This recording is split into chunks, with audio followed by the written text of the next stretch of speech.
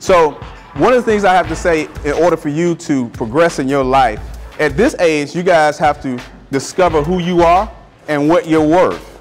You know, a lot of times I think people have identity crisis because they allow other people around them to influence who they become. Everybody, anybody ever did pottery? Anybody in here? A couple people done pottery? All right. You can be pottery or you can be the clay. You know, when they put the clay on the on the potter, they mold it and make it what they want it to be.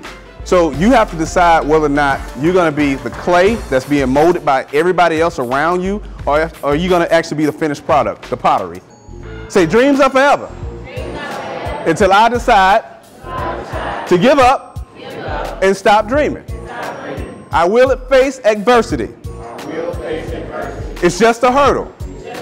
It was created for me to simply jump over it. I will get through it.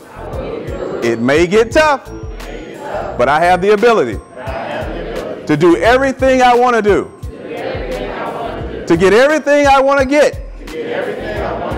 There's a difference in needs and wants. I may want some things, but I may not need them.